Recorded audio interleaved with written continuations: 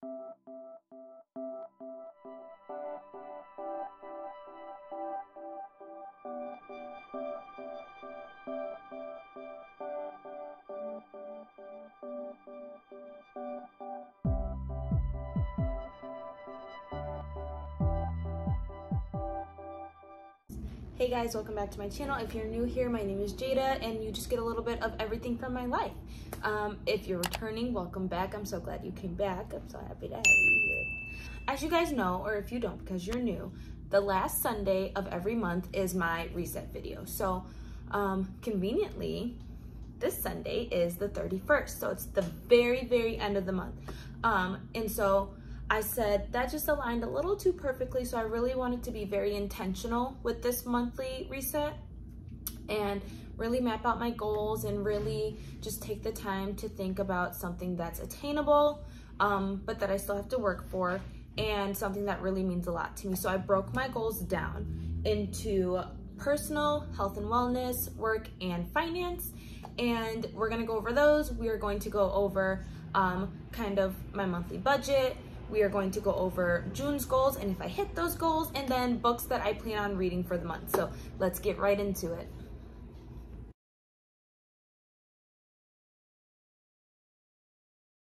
I had five goals for June and I'm just gonna put them right over here so that you guys can see them. Um, and so first goal was closing 90% of my rings on my Apple Watch, which I'm not wearing right now. You can see my tan.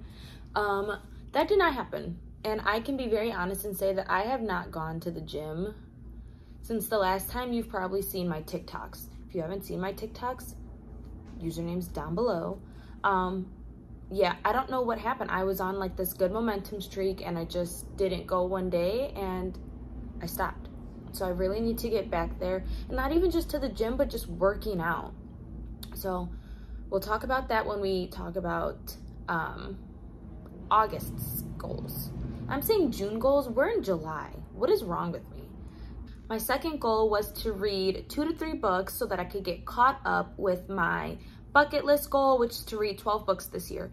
And I read all three of my books and they were great for the most part. I didn't have any that I scored below a four stars, which was pretty great. Um, I was a little nervous about the last book that I read, but it was still pretty good. It was good.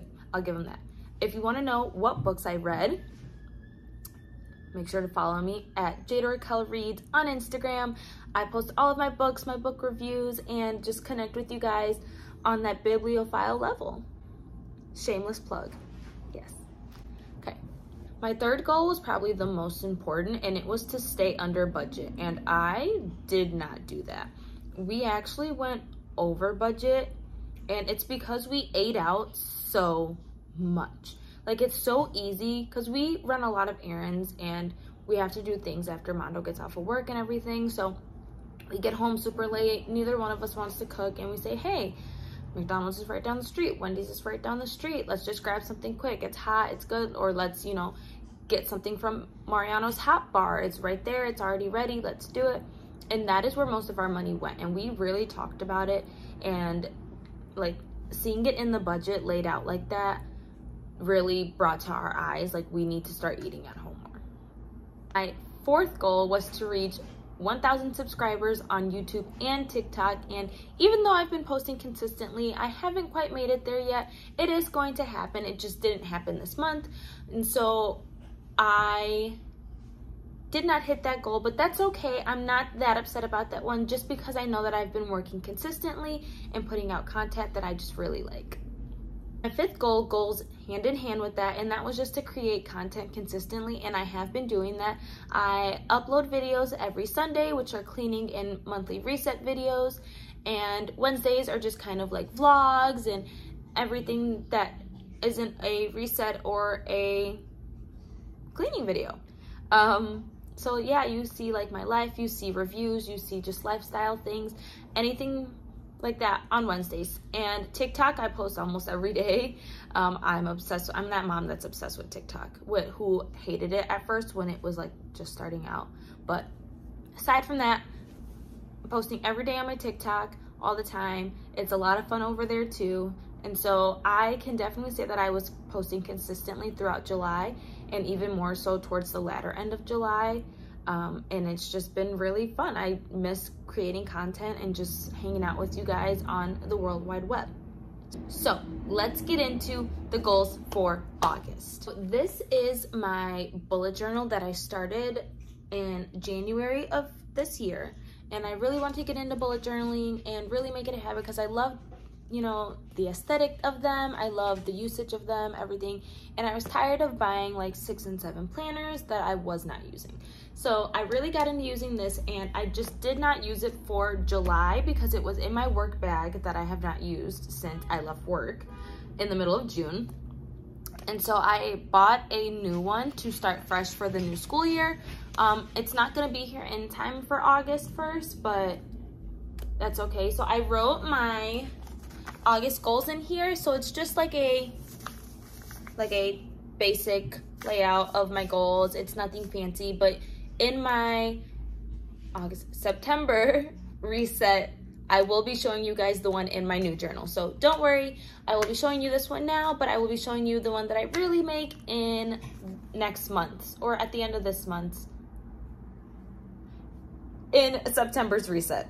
That's all I'm gonna say. Okay, so my personal goals for August are to spend one hour with God. So I have just really been slacking, and I can be honest about that, in building my relationship with God. And it's something that's really important to me. And so I need to dedicate that time to really spending time with Him and reading my Bible and just interpreting what I feel in my heart. And so that is a very, very personal goal of mine that I'm going to work really hard to attain. Um, the next one is to wake up at 5 a.m. So I need to get back into the swing of waking up early because work is starting soon, school is starting soon, and before you know it, I'm gonna be waking up the day of my job and feeling like death. Okay, and I don't want that. And I wanna be able to wake up early and take advantage of the day because once Dito wakes up, like all of my attention is on him. Like I can even barely clean the house when he's awake. So um, being able to wake up at 5 a.m. is going to be super crucial. It'll help me spend that hour that I want with God. It'll help me get a lot of work done. It'll help me focus and just really prepare myself for the day. So I'm looking forward to that. The next goal is to read three books again. So with work starting up again in August, I don't want to push my goal past three books just yet until I know that I can handle the three that I'm reading with work, with content creating, with school going to be starting, and all that. So, goal is still three books. And the last personal goal for August is to cross two things off of my bucket list. So if you have not seen my bucket list video, I'm gonna tag it in the cards. Make sure to check that out. Um, it's super inspiring. I have to look back at it and see what I have left because I know I crossed a lot of things off, which is super awesome. Um, it really motivated me to get out of my comfort zone this year and to try new things. And I will definitely be carrying that into next year. It's crazy that I'm already thinking about next year, but yes. On to health and wellness. I want to start eating 70% of my meals at home, and that should not be hard considering when I wake up, the first thing I want to do is eat, so I make a quick breakfast, and we're usually home for lunch, so it shouldn't be that hard. And I say 70% because I feel like that's a good place to start with eating at home. My second healthcare and wellness goal is to do my skincare routine every day because I've been slacking on it and you can definitely tell in my skin and it's nobody's fault but my own so I just really need to get on top of that. So doing my skincare routine every day is really gonna help my skin be clean and pure and back to like just being healthy and glowy and nice how it should look. And finally, my last health and wellness goal is to work out three times a week. So instead of pushing myself and pushing myself and pushing myself to make sure that my rings are closed. I just need to make sure that I'm being active. So working out three times a week, 30 minutes at least, should be very attainable for me and it will be. I'm speaking it into existence. We're gonna do it. All right, so work. Work is content creating, work is school, it's all of that. So first goal is to reach 300 subscribers on YouTube. And I dialed my goal back because trying to hit that 1,000 is the ultimate goal, right? Like that's my ultimate goal. and I broke that down into little pieces. So for August, I want to hit 300 subscribers. So if you're watching this and you're not subscribed, make sure to subscribe and turn on the bell notifications so that you never miss a video of all the wonderful. Um, next goal is to meet my new teaching team and set up rooms. I am moving with my kids to third grades and I never really talked to any of the third grade teachers and one of them is new. So I look forward to just really meeting with them, getting to know them, knowing their teaching styles and helping them set up their rooms. I'm really excited to get back to my kids. I miss them a lot. Um, and yeah, that's that's a goal of mine to really just put myself out there and just introduce myself to them because I'm not a very extroverted person. Um, and my last goal for work is to post my blog posts on time. If you didn't know, I have a blog and it's kind of like a little side income that I am trying to start because I'm really passionate about writing. I love reading and I thought I have a lot to offer people, especially when it comes to um, children and learning and motherhood, seeing that I'm a mother, I was a daycare teacher, and I have a degree in early childhood education. So if I can get my posts out on time, I can make sure that um, I'm staying on top of it and making sure that I'm keeping myself accountable. So I made that a goal to stay accountable to myself.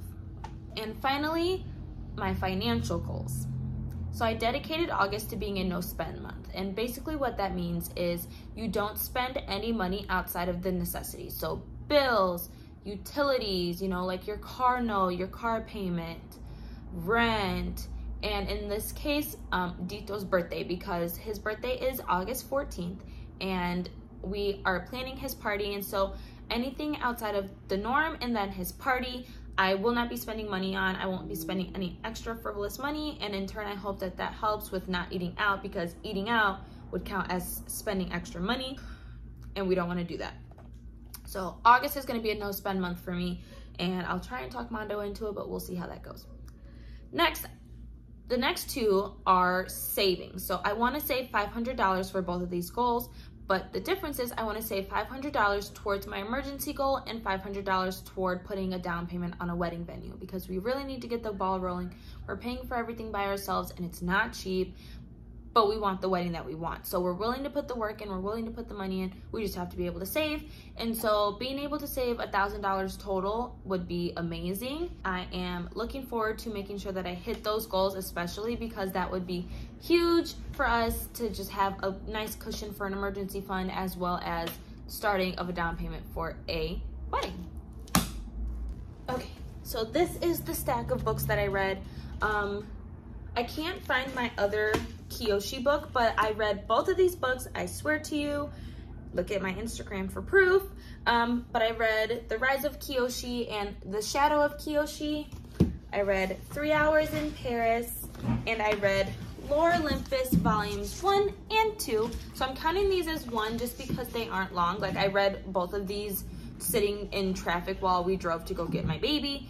Um, so I'm counting these as one so that helped me hit four books, if I'm counting this, these two as one, because I read both Kyoshi books. And that for me is amazing because I've missed reading so much. I like just go into another world when I'm reading and I just love it so much. So these were great reviews on them all, except for the Lore Olympus ones, because obviously everyone knows that they're great. Um, but reviews for all three of these books will be on my Bookstagram channel, my Bookstagram channel. I am talking too much and too fast. Reviews for all of these books are going to be on my book Instagram, Jada Raquel Reads, and you can check those out. You can, you know, buy them if you want to, read them, let me know what you think about them. If you've read them already, tell me. I'm a huge Atla fan, so come at me with all your favorite Avatar um, moments in the comments down below, okay? Let's get on to what I want to read this month. Okay, so I bought all three of these books from Costco.